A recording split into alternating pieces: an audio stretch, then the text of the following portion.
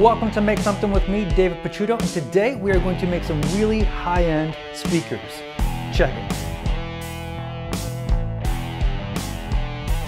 I've made a couple speakers in the past here on this channel but they weren't high end. They were more about looks and having fun. That changes today. This is a speaker kit from Creative Sound Solutions. If you look them up, the reviews on their speakers are phenomenal. They have three options when you buy their speakers. You can get the finished speaker, you can get the flat pack, which contains all the pieces for the cabinet that you glue together, or you can get what I got is just the components and we are going to build the cabinet. I'm not an audiophile and I'm definitely not an expert speaker builder. In fact, my hearing is pretty much shot from not wearing hearing protection while playing in bands for 20 some years. But I do have a deep passion for music, making it and listening to it. I am what you would refer to as a music snob. So whatever you listen to, I probably don't like. The funny thing is, most of the music I listen to is pretty darn lo-fi. I have a nice vintage receiver, I've got a high-end turntable, and it's time to add some high-end speakers to my mix. Many speaker builders will build their enclosures out of MDF or plywood. You can build it out of solid wood, but the solid wood will resonate a little bit more and requires a little bit more bracing. Plus solid wood expands and contracts and you don't want that tightening up over your drivers. CSS has the basic measurements for the cabinets on their website. I've modified them slightly to use rabbets. You can use butt joints, but the rabbets allow for you to get an airtight seal and just helps with the glue up. I thought about using butt joints. I even talked to Dan about using butt joints and then we decided if we're going to go high end, we're going to go all out. So we got a lot of rabbets and dados to cut today. And just so you know, Camera Dan is an experienced speaker builder, so he's going to be fact checking me throughout the day. Thank you, Dan. If you're curious, I'm using the CSS Criton 2 TD kit. I have all of my measurements laid out. I'm going to group like measurements and cut all of those at the same time. That way I'm not moving the fence and then moving the fence back. So that's enough talking. Let's start cutting.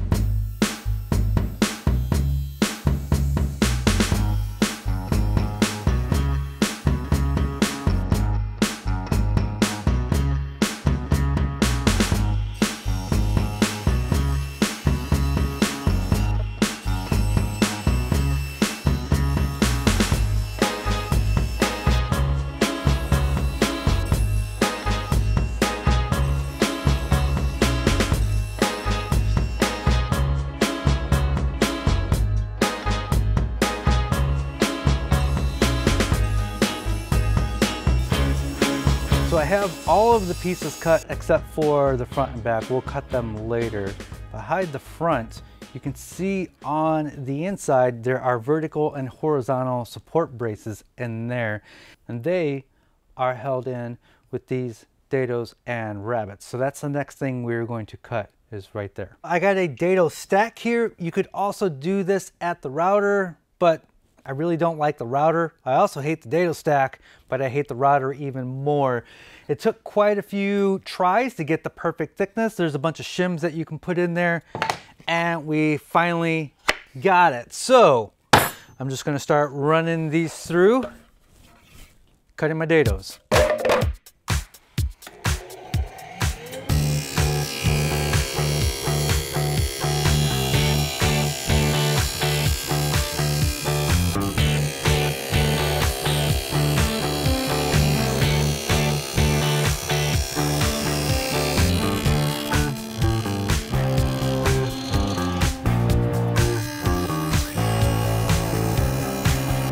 Want to point out that is dangerous. The dado is already, first of all, the table saw can be very dangerous. And then it's even more dangerous when you put a dado stack in there because there's a lot more teeth, there's a lot more blade for kickback. Typically, when you use the fence, the board is longer this way and you ride up against the fence. If you need to cut something this way, you would typically use a sled because using the fence when the board is longer this way, can be dangerous because it can wobble, and if it wobbles, it's going to kick back at you. I was using the fence. I kept that in mind. It is a dangerous cut. I'm an experienced table saw user, not an expert, just experienced. I know what I'm doing. I know the dangers. I just want you to be aware if you're new to the table saw, this might not be the way. You might want to use a sled instead.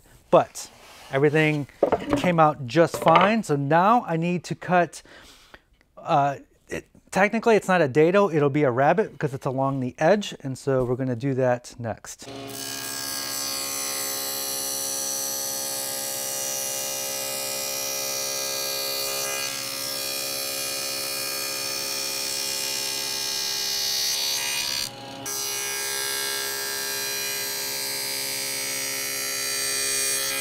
Now that we have all of those cut, this is the right side, this is the horizontal brace, and the next thing I need to do is cut a little space for the tweeter because the tweeter is going to go right there, so I just need to notch out the centerpiece.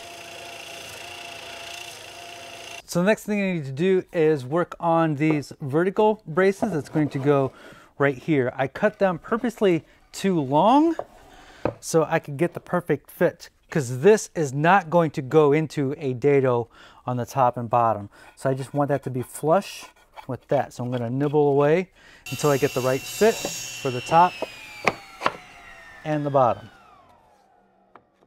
These vertical supports, I need to remove the center and I'm gonna do that with a jigsaw. A trick so I don't cut into my workbench is just to throw down some of this purple pink. Is it purple or pink?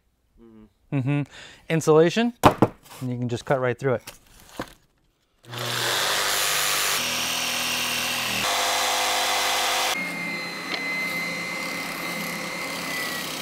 So now it is time to glue this up. We already have one cabinet glued up as a test run before filming.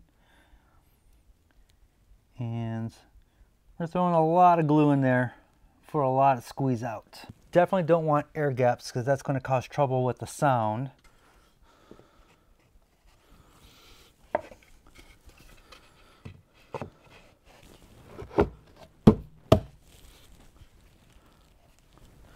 It's amazing how well that fits together.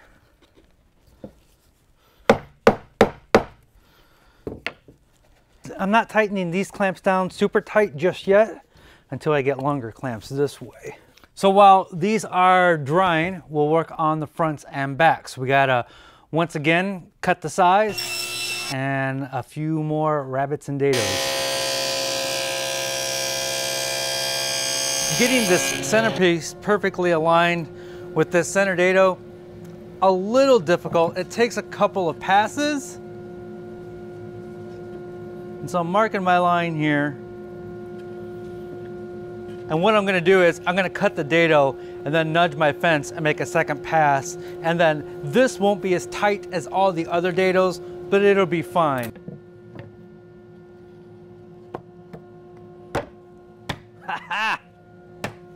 yes. So now it is time to cut the hole in the front for the woofers. This cabinet has two woofers, so I need to cut two holes if you if I'm doing the math correctly. And I need to do a rabbet for this lip to sit on and then the hole for this to fall into. And this needs to be flush with the face of the cabinet. Otherwise you get, it's, is it called diffraction? It's called diffraction. So things have to be kind of precise. Dan showed me how to make this router jig and it's got a little pin in here.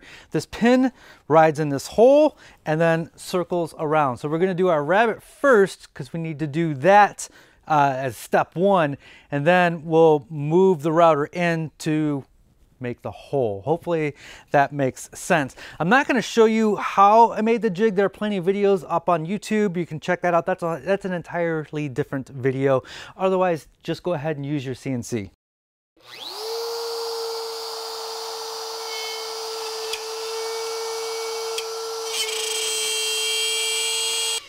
So now I actually have to move it in and do another pass to make that rabbet even bigger. I've got that marked here as step two.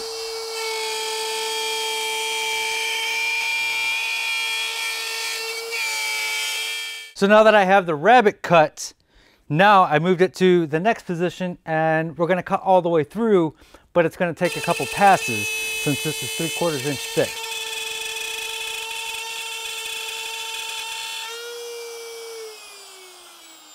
So now it should just rubber right, right in the.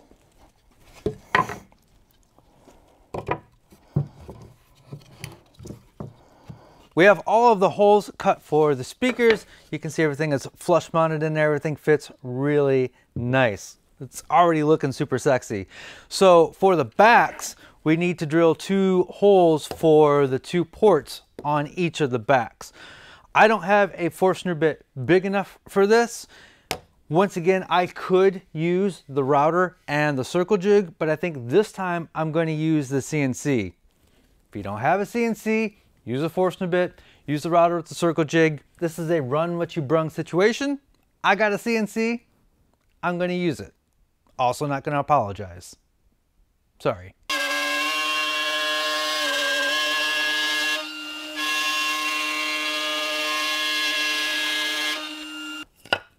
That will eventually go in there like that and then this goes over top of that and then once you get to the right length you can tape it or glue it into place. I'm going to pre-drill some holes for my crossover board before gluing this up because that'll just make things a little bit easier and I know I don't want to drill all the way through just deep enough. So when this is on the back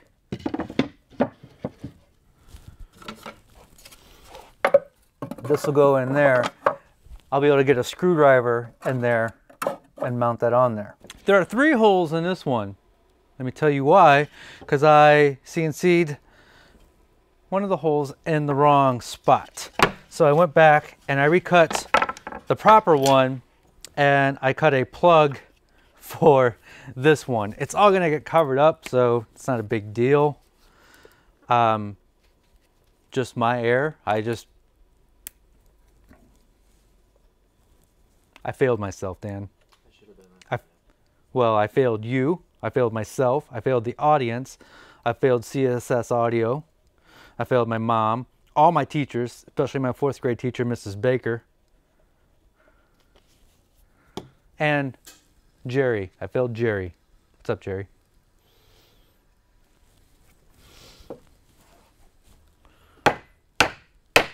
Now it is time to finally glue these guys together.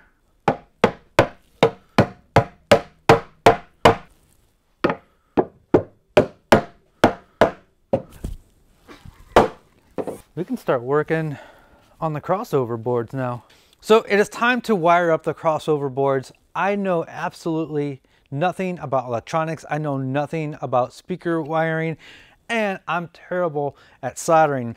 And these crossover boards are made for somebody like me, so somebody who doesn't know what they're doing. All the boards are labeled. And basically there's only one place for everything like this can only go into its its home. So I see that that label is the 8.2. This is what is what is this Dan?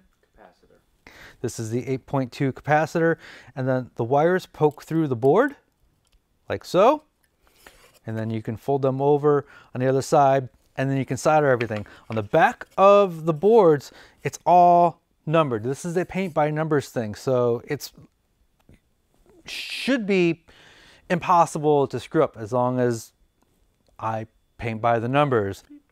So this goes in there like so. And then everything is just zip tied in there.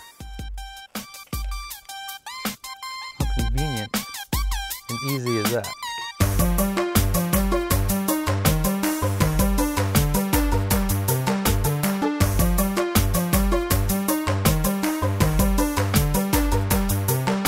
So now it's just time to solder everything together. Anything that comes out of hole D has to be soldered to anything else that comes out of hole D.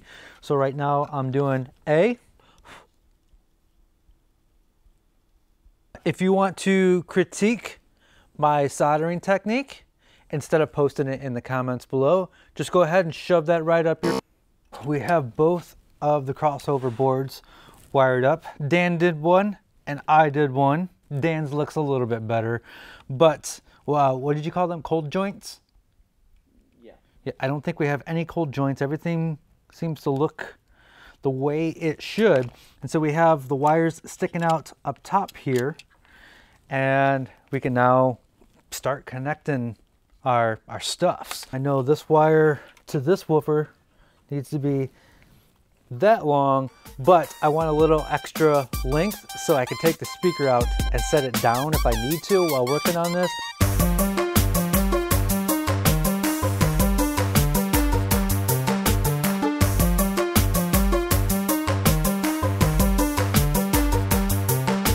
I got the crossover board mounted on the inside and it's time to start putting this together. You can see you can change the size. They need to be a certain size. I got to look that up. I have a piece of yellow tape there to let me know the proper length, which this happens to be nine inches. So we stick that in there. And I can stick this in there and then I can tape that length in place. There's way too much tape, Dan says. And it's gaffer's tape, so it's like $30 a foot. Also put our foam in there. You know what? Let's pre-drill. Let's pre-drill. Hey, Dan, is it okay if we do it the right way? I like how you backed up to not show the detail of my, my soldering work. I appreciate that a lot, Dan. I know what you're doing. I don't. I don't know what I'm doing. So I'm not going to bore everybody by showing the drilling and screwing of every single screw. But on the back here, I have a temporary input wire coming out of the port. These binding posts are eventually going to get installed right here, but I'm not going to do that until I finish the speakers, skinning the outside. So for now, this is going to be my input. Those are heavy. That's it. So the last thing I need to do is take this in the house and see if they work. So there they are. I got them up and working. Turns out all my solder joints worked and they are sounding amazing. They sound so much better and different than the old 70 speakers down below. I'll do a little A-B here, but uh, I'll set up a mic by the camera you can't really judge a speaker by a YouTube video and, and a microphone. You have to you have to hear them in person.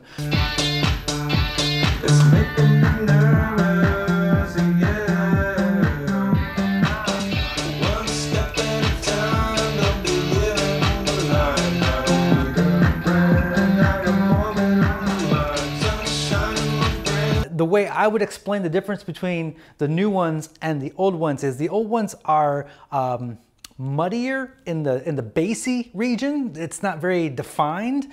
Uh, audio is such a hard thing to describe, but uh, the, the the new ones they sound clear, they sound beautiful, really deep bass, but not muddy like the old ones. I know it might be disappointing to some of you right now, but we are going to do a second video where we finish and skin them.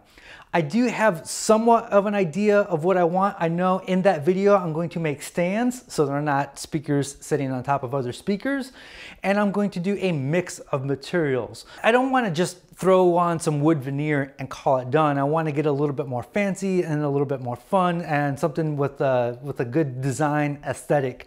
So I do know that the faces are going to have removable grills.